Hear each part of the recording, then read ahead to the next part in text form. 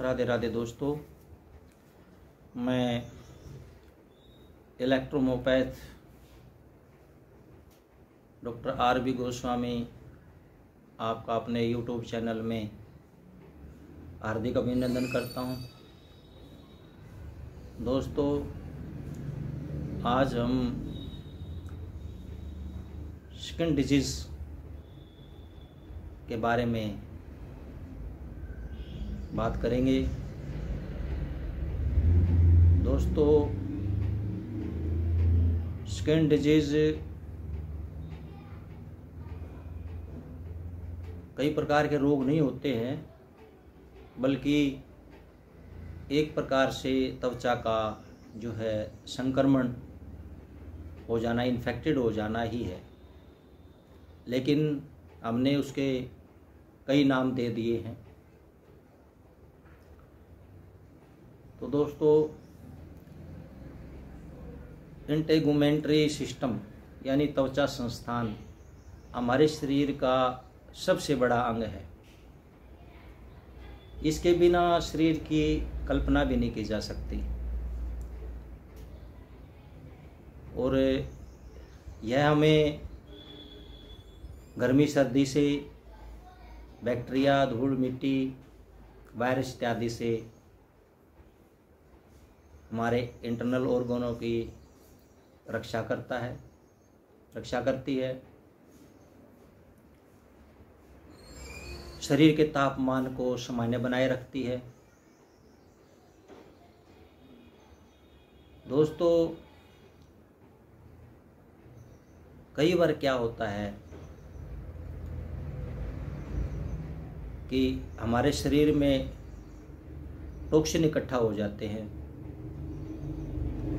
और वो बाहर नहीं निकल पाते।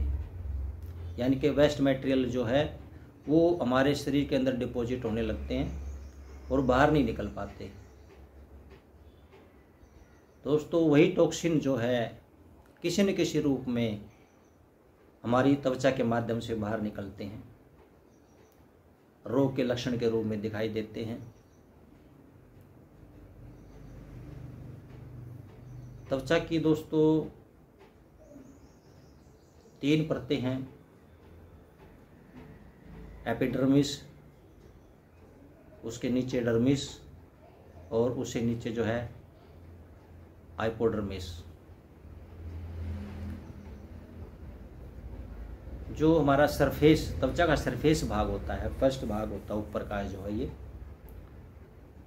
तकरीबन सभी जो डिज़ीज़ जैसे एक्ने है अर्टिकेरिया है सोरियासिस है ल्यूकोड्रमा है रिंग वर्म है वार्ड्स है इचिंग है स्कैबिज है मल्टीपल बॉइल्स हैं एलोपेसिया है और डेंड्रफ इत्यादि जो है, ये स्किन के ऊपरी सरफेस भाग में ही होते हैं। एक बॉयल जो है वो डर्मिस भाग में चला जाता है सिस्ट वगैरह जैसे बनती हैं। तो वो हमारे डर्मिस भाग में जो है पैदा होती है। तो इस प्रकार जो है ये रोग के नाम दे दिए गए हैं। वास्तव में तो स्किन डिज़ीज़ एक ही है। और मेन कारण उसका जो मैंने बताया कि बॉडी में वेस्ट मटेरियल का डिपॉजिट हो जाना, किसी न किसी रूप में चाहे वो यूरिया के रूप में हो कार्बन डाइऑक्साइड के रूप में हो, या फिर किसी और अन्य वेस्ट मेटेरियल के रूप में हो। तो दोस्तों, एक तो मेन कारण जो है स्किन डिज़ीज़ का ये है। दूसरा, अनुवांशिकी भी जिसको हेरिडिटरी बोलते हैं, उसकी वजह से भी ये समस्या देखने को मिलती है। जैसे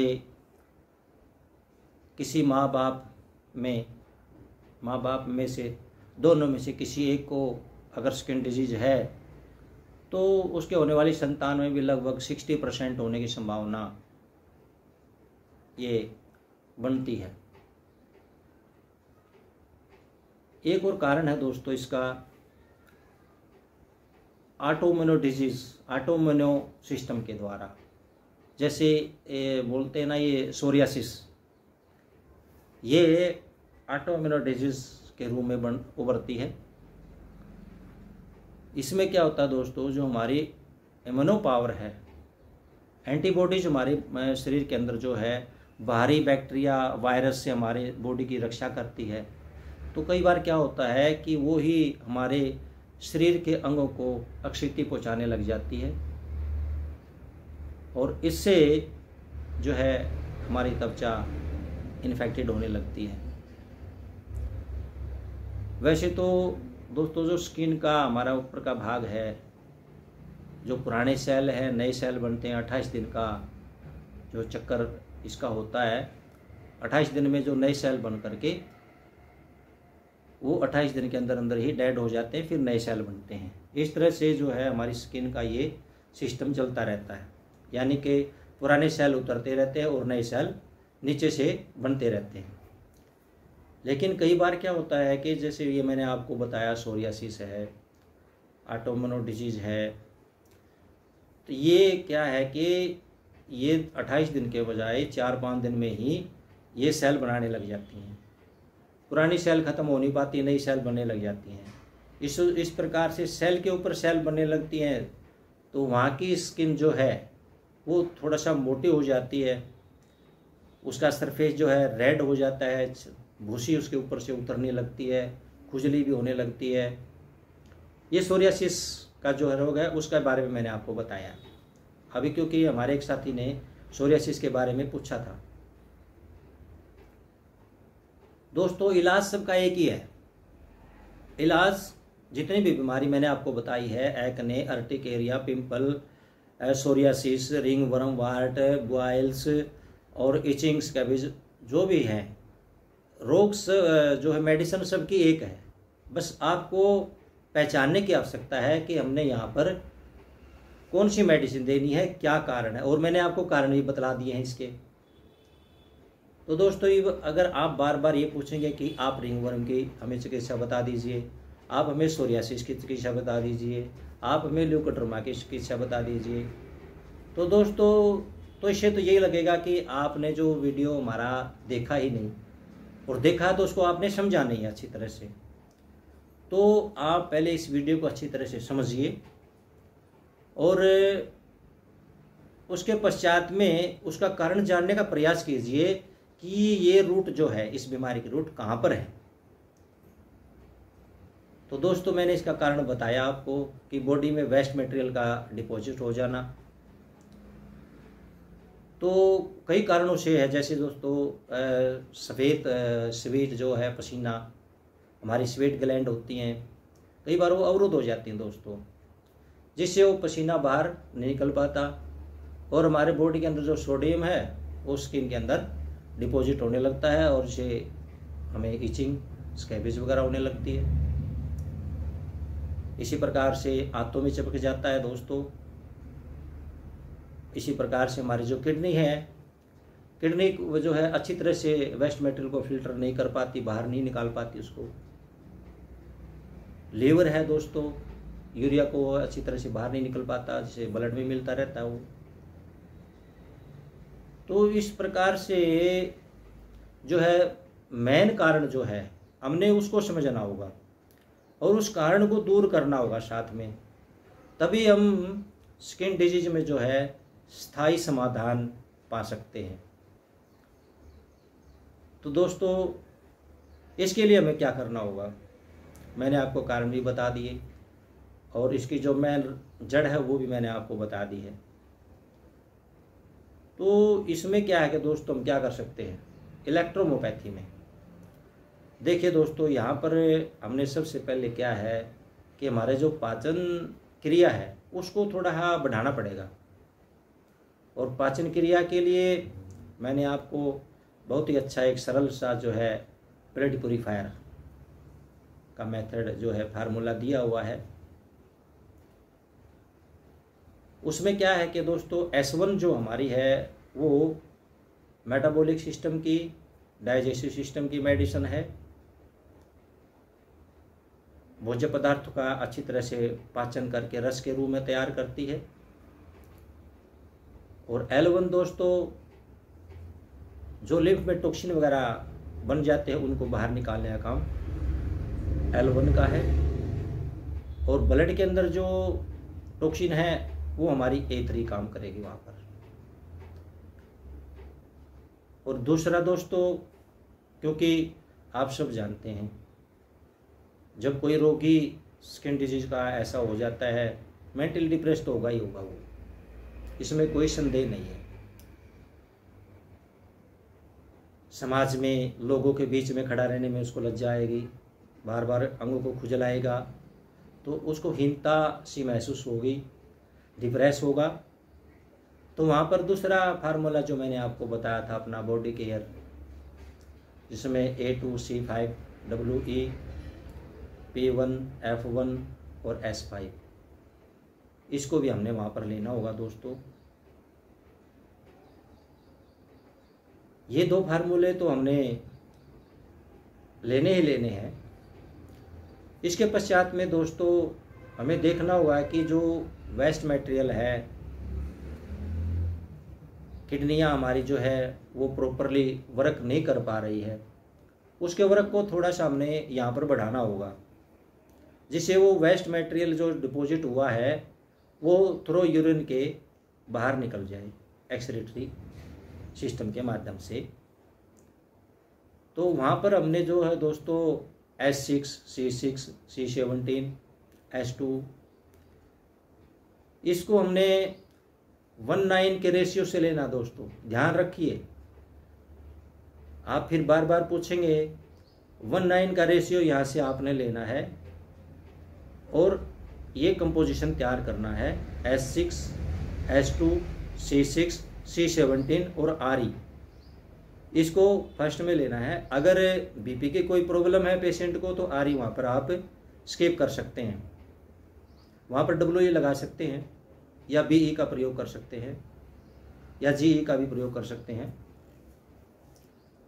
तो इसको दोस्तों, आपने जो है इसकी किडनी के फ़ंक्शन को हमने वहाँ पर बढ़ाना है, जिससे हमारा वेस्ट मटेरियल थ्रो यूरिन बाहर आ जाए। और एक और हमें कंपोजिशन इसके लिए तैयार करना होगा दोस्तों। उसके लिए हमें आंतों की सफ़ाई करनी होगी। उसमें हम एस टू वर टू सी टेन सलास और वाई ई ये भी दोस्तों, आपको वन नाइन का रेशियो लेना है। ध्यान रखिए वन नाइन का रेशियो इसको आप बना लीजिए। यानी कि पहले वाला जो है S six S two C six C seventeen वो भी वन नाइन का रेशियो और ये जो दूसरा फार्मूला मैंने बताया एस टू वर टू सी टेन सलास और वर्मी फुगो टू और क्या नाम है ये अपना वाई ए जो है, ये भी आपने वन नाइन का रेशियो से ही लेना है। और इस कंपोजिशन को दोस्तों, शाम को आपने अकॉर्डिंग टू बॉडी वेट 40 बूंद लगभग, मैंने ये 40 बूंद जो है, एक 50 से 60 किलो के आदमी के लिए बताया है। ज़्यादा है तो आप ज़्यादा ही बढ़ा सकते हैं, कम है तो कम भी कर सकते हैं। 40 बूंद शाम को, गर्म पानी के साथ में शाम को दीजिए। ये हमारी दोनों मेडिसिन जो है एक्सरेटरी सिस्टम की हैं, ताकि शरीर से जो टॉक्सिन वेस्ट मटेरियल जो डिपॉजिट हुआ है, वो शरीर से बाहर निकले। अब आइए दोस्तों, हम जो है हमारी जो ऑर्गन की मेडिसिन है, वो लेते हैं। यहाँ पर मैंने स्ट्रक्चरल और फंक्शनल दोनों को ही इकट्ठा ले लिया है अलग अलग इसके अंदर नहीं लिया है। इसमें हम क्या करेंगे दोस्तों एस थ्री सी थ्री और वर्मीफ्यूगोवन और विनेरियोवन। चाहे तो आप इसके अंदर जी ई e का भी ऐड कर सकते हैं, वरना आप स्किप भी कर सकते हैं इसको। इसको आपने क्या करना है कि डी फोर से, क्योंकि दोस्तों देखिए, क्या होता है कि चाहे रिंग वर्म हो या फिर इचिंग हो या स्कैबिज हो या सोराइसिस हो या एक्जिमा हो, खुजली तो इनमें होती होती है। तो वहाँ पर क्या है कि दोस्तों, जो हमारी सेंसरी नर्व है, उसका कुछ वर्क ज़्यादा हो जाता है वहाँ पर। उसके वर्क को नॉर्मलाइज करने के लिए हमने यहाँ पर जो है, हल्की मात्रा में जो है एस थ्री सी थ्री विनिडियोवन वर्मीफोगोवन और जीई e को लेना है। यानी कि डी फोर से जो हमने D four thirty eight medicine का किट बनाया है, उसमें से जो हमारा डी फोर है उसकी प्रत्येक की पाँच पाँच बूंदें हमने लेनी है। दोस्तों पेशेंट आपके सामने है। अब पेशेंट कैसी कंडीशन में है? उसको ज़्यादा प्रॉब्लम है या कम प्रॉब्लम है? वो आपको देखना होगा। तो पाँच बूंद दोस्तों, आप दस मिनट पर भी रिपीट कर सकते हैं। आधे घंटे पर भी रिपीट कर सकते हैं, एक घंटे पर भी रिपीट कर सकते हैं, दो घंटे पर भी रिपीट कर सकते हैं।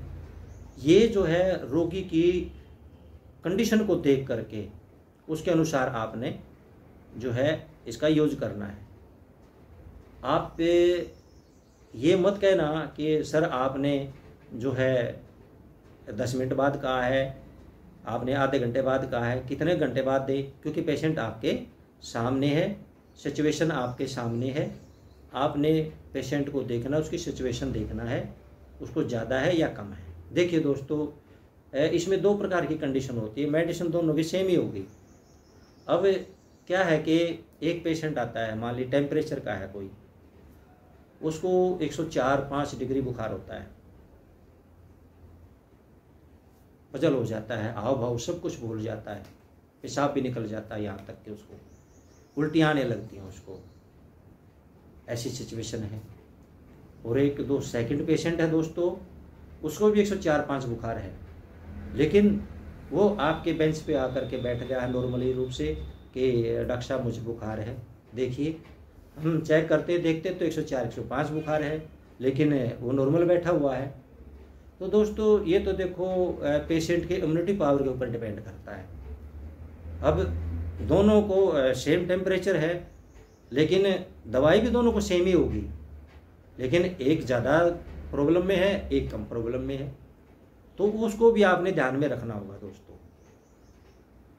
ऐसे ध्यान में रख करके आप यदि ट्रीटमेंट करते हैं तो हमारी इलेक्ट्रोमोपैथी में ऐसी जो है, कोई वजह नहीं है कि जो ये काम ना कर सकती। हंड्रेड परसेंट काम करने करेगी, लेकिन आपको औषधि को पहचानने की ज़रूरत है, रोगी के रोग को पहचानने की ज़रूरत है, उसकी जड़ को पहचानने की ज़रूरत है। आपने अगर ये चीज़ें पहचान ली तो दोस्तों, आपको शत प्रतिशत सफलता मिलेगी। दोस्तों, वीडियो थोड़ा सा लंबा हो गया, क्योंकि अपलोड होने में ज़्यादा दिक्कत आती है। इसलिए मेरी बात पर आप ध्यान देंगे और ज़्यादा ग्रुप में जो है रोगों के बारे में पूछने के बजाय आप समझने का प्रयास कीजिए। ये वीडियो जो है आप सभी लोगों की भलाई के लिए है। आप लोग समझें तो मेरा यही जो है प्रसाद होगा, यही मेरा आशीर्वाद होगा कि आप मेरे बताए हुए वीडियो के अनुसार आप समझें, बीमारी को समझा आपने। रोगी की स्थिति को समझा और रोगी का इलाज किया। उसमें आपने सफलता प्राप्त की और जब आप ये कहेंगे कि, सर, हमने इसमें सफलता प्राप्त की तो मेरे से इससे बढ़कर मेरे लिए खुशी और क्या हो सकती है? तो दोस्तों, जो हमारे नए साथी हैं, हमारे ग्रुप में जुड़ना चाहते हैं, निःशुल्क एंट्री है, आप निःशुल्क ज्वाइनिंग कर सकते हैं। हमारे जो नंबर हैं, वो स्क्रीन के ऊपर दिया हुआ है। आप उसमें अपना नाम और पता भेज करके जो है ग्रुप ज्वाइन कर सकते हैं। किसी से, किसी प्रकार की कोई फ़ीस या कोई लालच हमें नहीं है। हम चाहते हैं कि सभी सीखें और आगे बढ़ें। इसी के साथ राधे राधे दोस्तों।